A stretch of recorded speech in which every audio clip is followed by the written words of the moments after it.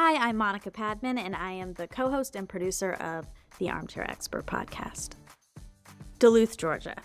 I double majored in theater and PR. Energized and buzzy, and I still do when I'm here. I like walking through the arch. UGA. Red. North Campus. City. Teleportation. Last resort. Or Barbaritos. Goodwill Hunting and Friends. Such a hard question. I mean, I want to be Rachel, but I'm probably Monica. I studied abroad twice. I did a lot of plays and I also did a lot of student plays. Honestly, I picked UGA for the Hope Scholarship. I had some pretty grand plans of transferring to UCLA, but as soon as I stepped foot on this campus, uh, there was no leaving.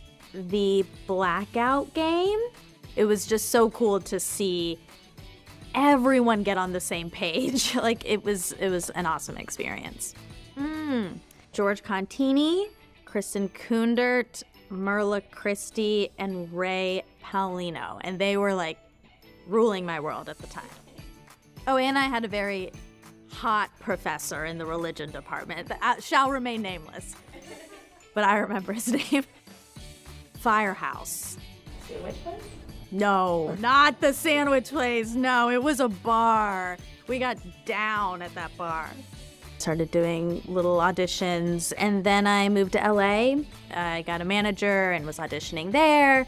And then I started babysitting for Kristen Bell and Dax Shepard, and I started nannying for them, and that just kind of grew and grew and grew. And um, and now Dax and I have a podcast together, many podcasts together.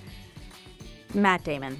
Okay, I have two. One is signing the Spotify deal. We're exclusive to Spotify and winning the state championship, the cheerleading state championship in high school. It really does not get better than that. The only thing I can say for certain is that I will be 10 years older. Say yes to everything because you can always leave. You can always say no later, um, but you have no idea where it's going to take you. That's it. Oh my gosh, so easy.